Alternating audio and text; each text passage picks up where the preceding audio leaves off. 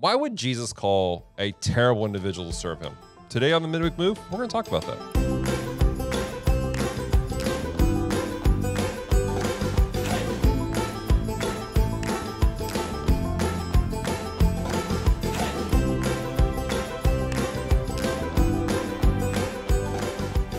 Welcome to the Midweek Move, podcast extension of the Healing Place, the podcast where we examine the scriptures line by line, verse by verse, and ask ourselves what is happening today. Ladies and gentlemen, I am joined once again by the man, the myth, the legend, Justus. How you doing, man? Doing good. Glad, to have be you here. I'm glad to have you. Like this has been. I had a lot of fun with you last week, and oh, thank you so much. uh, it was awesome. Uh, what I really loved about what you did last week uh, with our last episode is, uh, and this is this is a freebie. This is not part of the normal conversation, but as far as the Bible study aspect, because we again we try to teach people not just what the word says, but how Yeah. where they can discover it. You didn't just stick with the text in front of us. You brought context from the Old Testament and the New Testament, and we do that a lot of times also with certain uh, topics.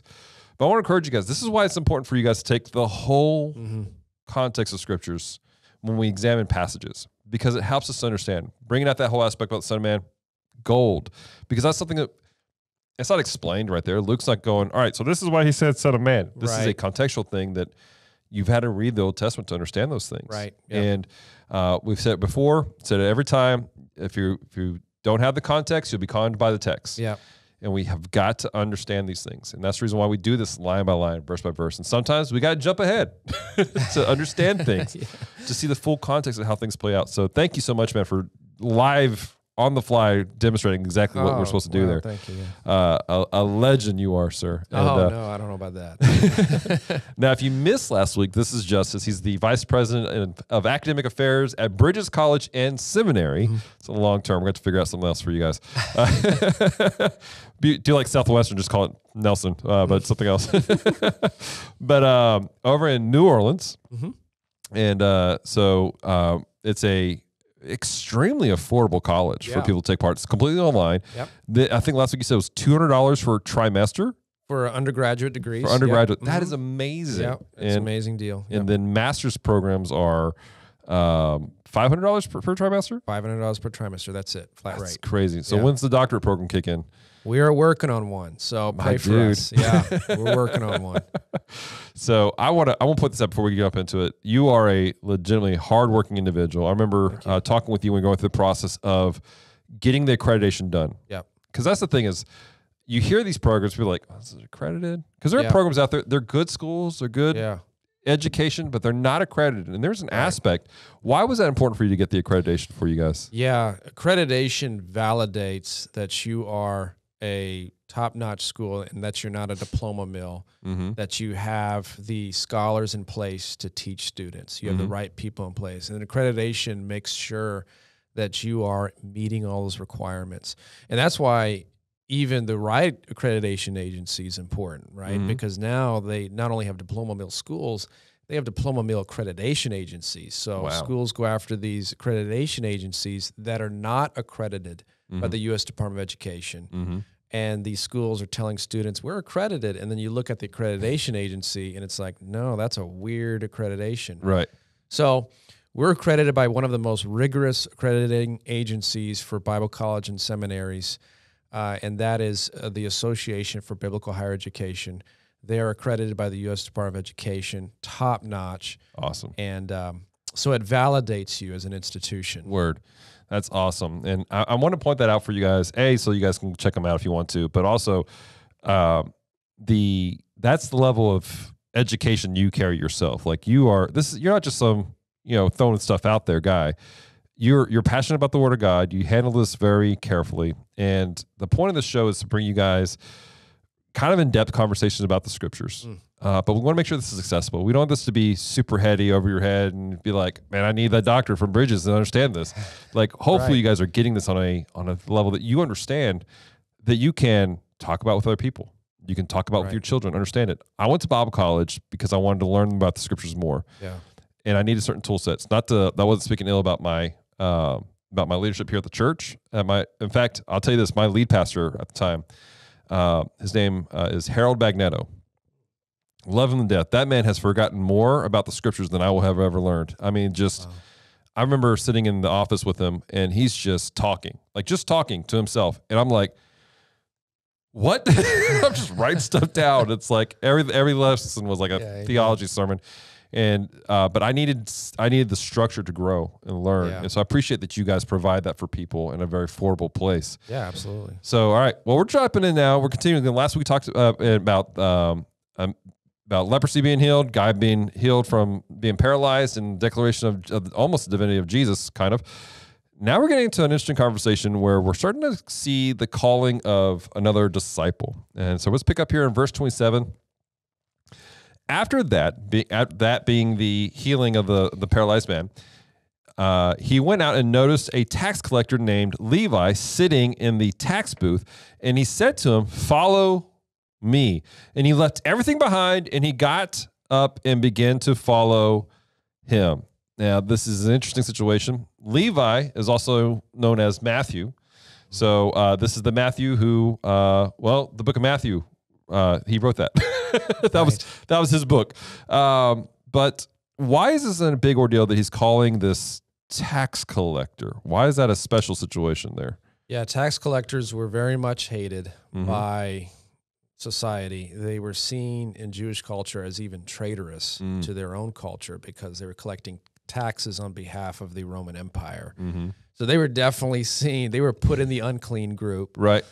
And so this is Luke does everything intentionally as and of course he's inspired by the Holy Spirit to do this, Right. right? This all of scripture is inspired by the Holy Spirit. So the Lord is showing us kind of a pattern here. Uh, and it, it there's a little bit of irony that happens even at the beginning of chapter 5 Right. where Simon Peter, who is probably a law following Jew, Right. Okay. There's nothing in the text to indicate that he wasn't. So he's probably one that follows the law pretty regularly. Mm-hmm. And of course, you know the story. You guys, I'm sure, covered it a little while back. And so Jesus tells him to put out his nets. They catch a bunch of fish. And then what does Simon Peter say? He says, Go away from me, Lord, for I am a sinful man. Right. It's a little bit of irony there. So it shows there in Luke chapter 5 that even a, a law abiding Jew was sinful. Then you go to the next story about the leper who was mm-hmm. unclean. Then you go to the next story about the paralytic who mm-hmm. would have been as well kind of seen as a lowly in society. And then you get to hear with the tax collector. Right. So Luke is showing us a pattern here is that God calls everybody, all kinds of people, Right. right? And the Lord calls them, and it doesn't matter what background they came from. Anybody can come to Jesus. Absolutely. Um, and that's honestly that's one of the things I love about about Luke's very meticulous way of walking through things. Yeah. Because you begin, he doesn't just go, yeah, he called this guy, call this guy. That detail he gives us, it gives it paints a beautiful picture of really the heart and compassion of God Yeah, for people across. The, and we talked about this several weeks ago. Was that is a running theme through Luke is that he shows the compassion that Jesus has for Mm-hmm. people as a whole. People did not like Levi. They do. They would not have hung out with Matthew. We're about to see how bad this was the situation here in a second ago. I want to encourage you guys. There are people you don't like, yeah, and unfortunately, there's some of you that you've been taught to not like people. Mm. That's not the heart of God. right. Period. There are people that everyone needs the heart of. They all need Jesus. They all need His compassion, and He needs you to be willing to reach out to them and to show that love. So, again, it's. uh I'm not going to get on a soapbox because I can't about that real quick. But we gotta have love for people. So Amen. Jesus calls him very in a very rabbinic way. He just walks up, and goes, "Follow me," and the guy's like, "Bet," just drops everything off. I gotta wonder because again, that was from my understanding, that's a very rabbinic way of walking up. The rabbi walk up and you see somebody goes, "I'm choosing to be a disciple. Follow me," and they would go. I gotta wonder if that was the first time Levi ever heard those words. Because I mean, he's a Jew, so he would have been raised in the in the thing. I can't help but wonder if he, and this is pure speculation. Do Sure. not go make a doctrine on this, guys. All right, that's how cults start. But I have to wonder if he became a tax collector because he was never accepted by a rabbi before. Oh, we don't know. Yeah, I don't know. But And so- an interesting thought. Yeah, It's just one of those things I've always wondered about. yeah. So, all right, let's continue on. Verse 29.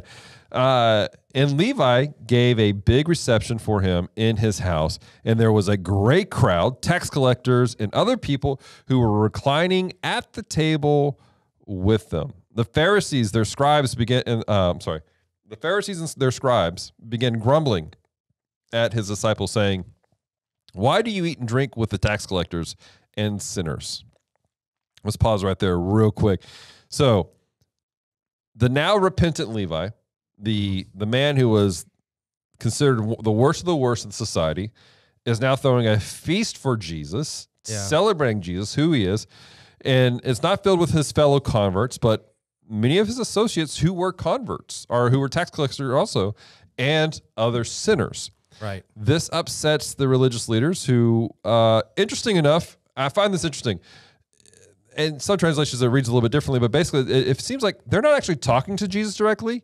It's almost like they're subvertedly like going to his disciples, like, "Why would you just let your your leader do this? Yeah. Why would your your your Lord hang out with these people?" It was almost like he they were trying to, you know, hey disciples, maybe you shouldn't follow this Jesus type of thing. So a little dissension. Yeah. Absolutely. and uh, which I again I got I got I'm not gonna get a soapbox, but that's demonic, guys. yeah. Yeah.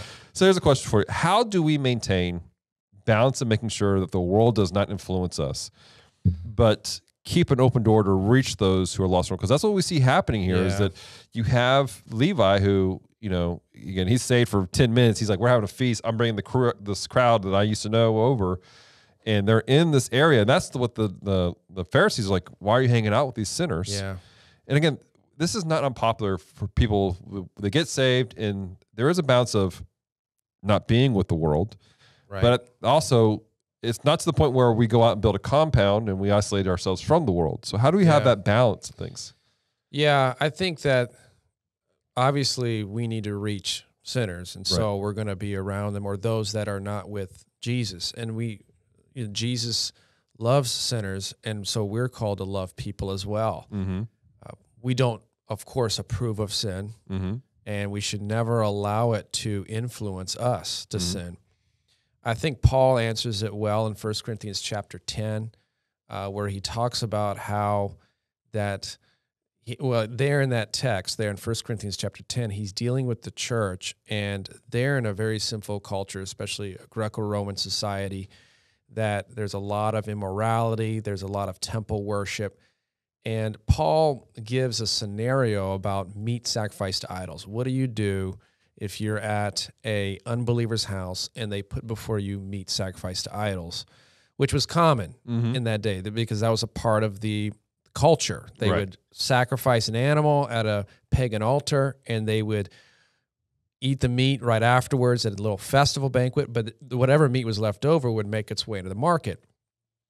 So the point is there is that the fact that Paul is talking to believers about being in an unbeliever's house and uh, one that's not a believer means Right. that they were active in hanging out with unbelievers. Absolutely. Right? So they were obviously sharing table fellowship with those, not in a not in the sense that they were going to be unequally yoked in Mhm. influence, but in the sense that maybe they were reaching them and so on, right? So he says there that, hey, only um, refuse to eat the meat if the unbeliever says this meat was sacrificed to an idol. Mm-hmm. Okay. And Paul says it's not for your conscience. Okay. It's for the unbeliever, the other person's conscience, so Mhm. that they don't kind of misconstrue Mhm. what Christianity is, that Right. they don't get confused because Christianity was understood to be separate from the world. Right. So there are situations there where you're in that um, obviously you're there reaching people, Mhm. right?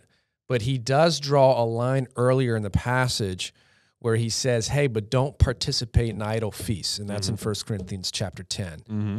And he says, "Hey, don't do that because the feasts there, these offerings are given to pa- these pagan gods, Right. which is demonic." Right. And I'm summarizing, but Paul does draw the line where it's like, don't cross that line. Right. Don't participate in the demonic worship itself. Correct. It Meat's meat, but if it's for the purpose of demonic worship, stop.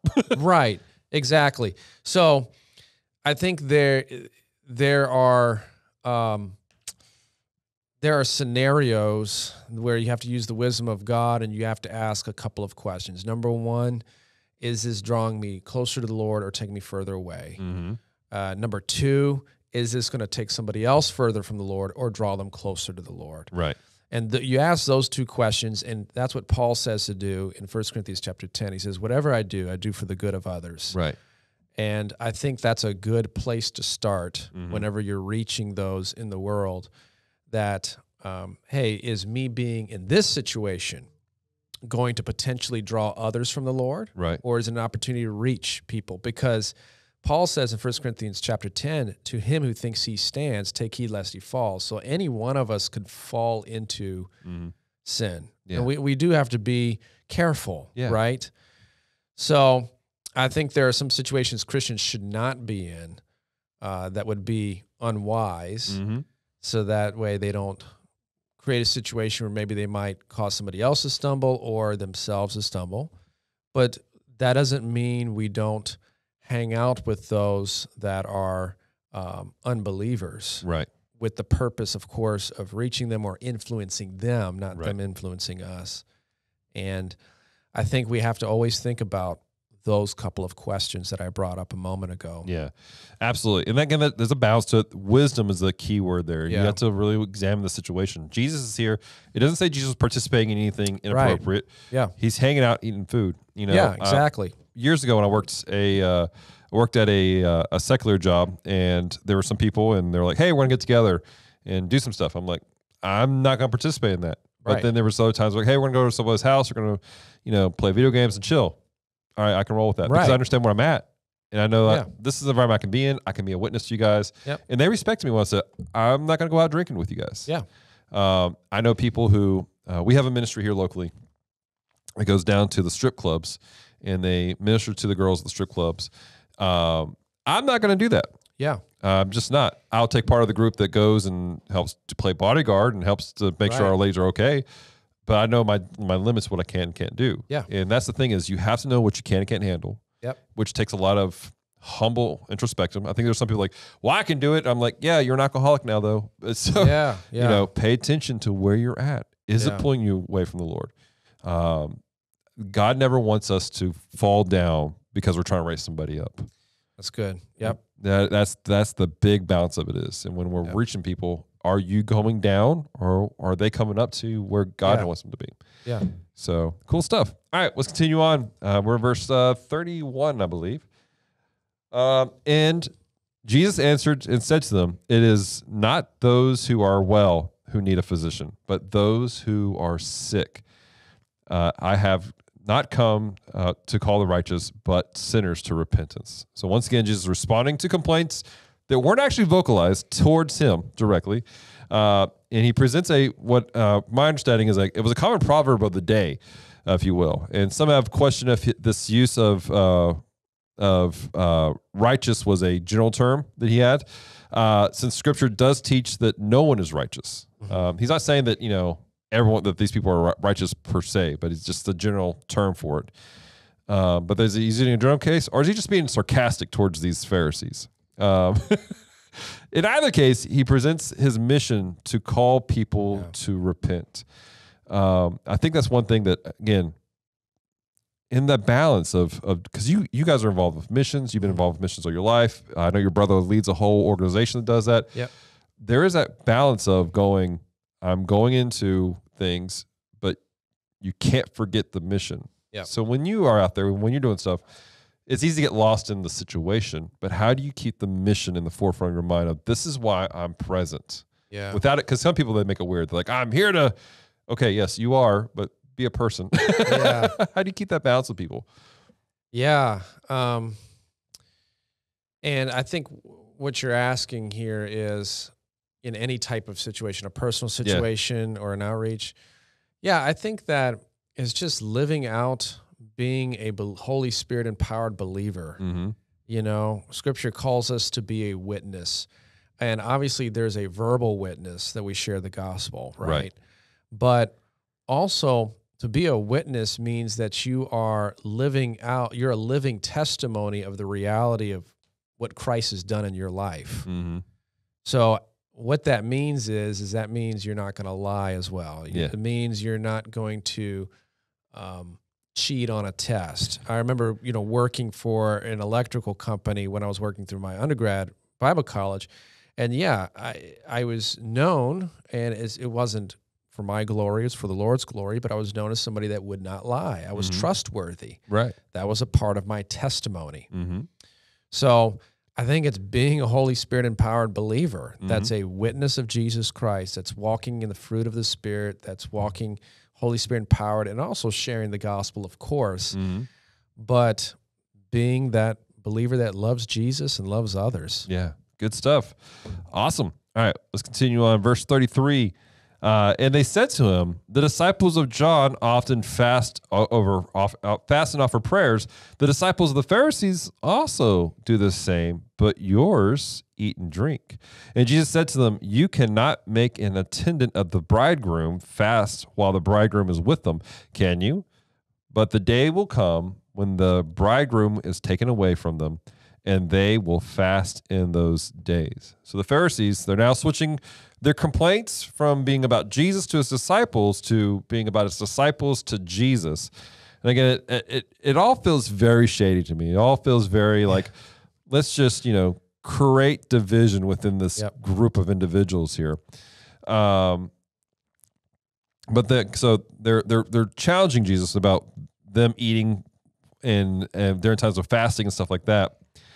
What does Jesus' statement allude to in terms of his identity and future here? Because that's a, some interesting vocabulary of the bridegroom and being taken away. What is he alluding to with this as far as who he is in relationship to this group? Yeah, here he is taking, he is talking about his eventual uh, crucifixion, well, death, burial, crucifixion, and an eventual ascension. Mm-hmm. That there will be a time of fasting. That's why we fast today Right. uh, with the wisdom of the Lord. And so he's talking about that right now. He's he's with them during this season of his mission, Mm-hmm. and again, it's so interesting that the teachers of the law, they're not, they're supposedly know the scriptures, but they're not recognizing what's happening in their midst, Mhm. right? And they're not recognizing the key moment in history that they're missing out on here. Mhm. And so, right, this is a key moment in history where Jesus has come on the scene. Scripture talks about that in the fullness of time, Jesus arrived. And so, this is during this special season, but eventually, of course, when he leaves and ascends, of course, eventually into heaven, Mm-hmm. yeah, there's time where we've got to fast and believe for the Lord, you know? And so he's talking about that in that future season, but he's this is like a uh, we call this where Jesus is inaugurating the kingdom of God right there in their midst. Right. And and they're missing out on it. they're missing out on all of it. Right. And so um, it's always fascinating to me. Yeah, it, on, it's it's fascinating and sad to me to see this taking place because like some of these guys are genuine, and I, I say this some of the guys, but they're they're genuine followers of Yahweh. Yeah. They're genuinely like, but they've allowed their traditions to harden their hearts to certain things. And here's literally the Messiah standing in front of them. Yeah. And Jesus chastises some of them uh, later because they just they've hardened their hearts to see it. Yeah. Now there are some that they believe, and we see that take place, and it's it's a glorious thing. Um, but it's sad to that they're so stuck on certain things that they miss the bigger pictures right, in front of them. Um, it's really a tragic look uh, that's taking place. Uh, let's continue on verse thirty six. And he was also telling them a parable. No one tears a piece of cloth from a new garment and puts it on an old garment. Otherwise, he will tear the new and take uh, a piece from the new. I'm sorry, the piece from the new will not match the old. And no one puts the new wine into old wineskins. Otherwise, the new wine will burst the skins and it will be spilled and uh, be spilled out, and the skins will be ruined. But the new wine must be put into fresh wineskins, and no one, after drinking old wine, wishes for new, for he says, The old is good enough. There's a lot of stuff here, and and I'm pretty sure that within these four verses, there's probably 6,000 worship songs from Maranatha and Vineyard. But what is happening here? Can you help us understand what's taking place with these parables? Yeah, Jesus is talking about the new thing that's happening right there. And he's saying that this is a new day. Mm-hmm. And we need to, you don't pour this new wine into old wineskins. You don't uh, repatch uh, an old garment uh, with a new uh, cloth or new garment or piece of cloth from a new garment. And um, because the old things can't contain the new, it Mhm. can't doesn't work together anymore. There's meaning some things updated here. It's an update. Right.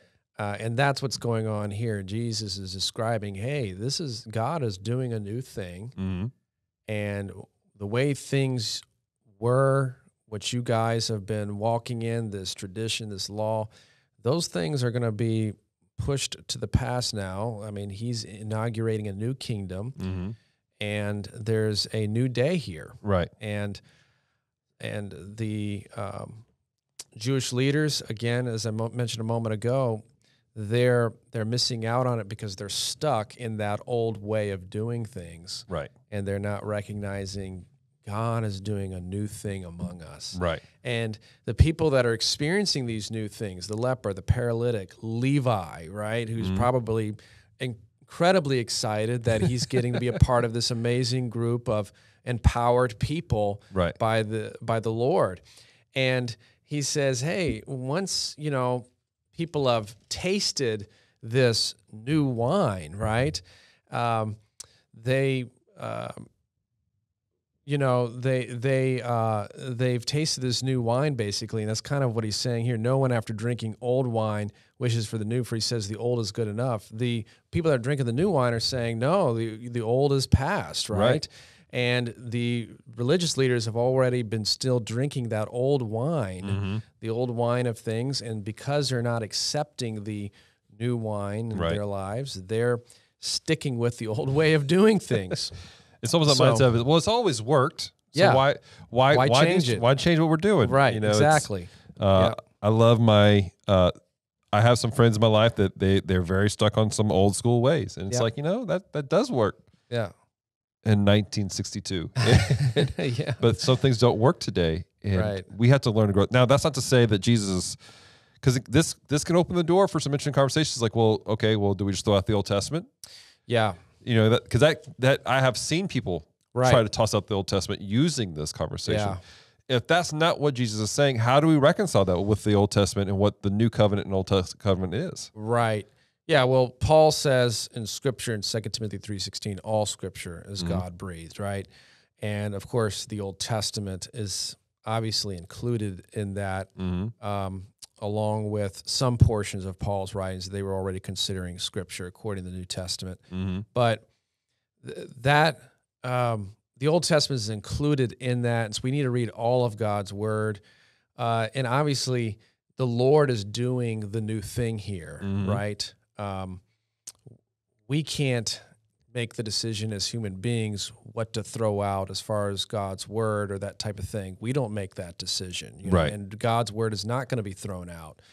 Um, so it's here Jesus is doing the new thing, uh, and we as well need to be open to God doing new things. But of course, it's not going to contradict God's word, Right. and that's the main thing. Is that sometimes people will try to add to God's word or contradict it, and that's where they get into trouble. Exactly. Yeah. I remember I had a conversation with a gentleman uh, a while back, and he was.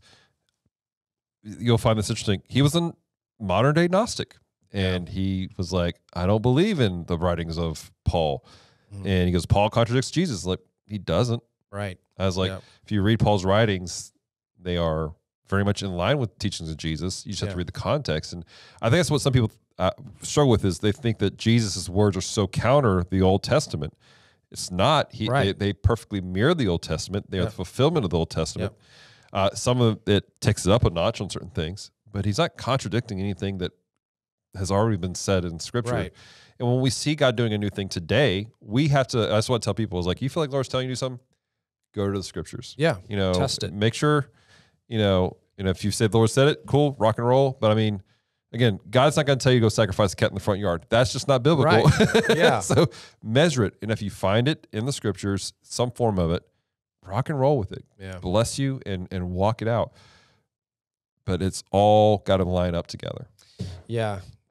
First John 4 1 says to test the spears, see if they're from God. Yeah. exactly good stuff all right man well any last thoughts on this passage before we uh, close this up No, I think just always trust God for doing new things. He's a good God. Yeah. Amen. All right. Well, Justus, again, one more time, how can people get a hold of you? How if they were like, hey, I want to take the next step in my in my personal walk with God and, and I want to go to a Bible college and Yeah. I'm looking at stuff. how can they get a hold of you or the college and, and discover what's taking place there? Yeah, you can go to bcc.edu to check out the school. You can even apply today if you go to the Apply Now tab at the very top, or you can email us at info at bcc.edu, and we'd love to hear from you. Awesome. Well, guys, like I said all the time, let us know how we can pray with you, how we can encourage you. Reach out to us, mediahub at thpshreveport.com. Check us out on Facebook. Look for Midweek Move or comment on the YouTube channel. And again, we say this every week, but we legitimately mean it. We, we want to know how we can pray with you. We don't just throw this out there. It's just not a, a, we're not just throwing information out to the wind. We're trying to help you make a move with God. And if we can walk with you on that, let us know. Until next time, have a great week.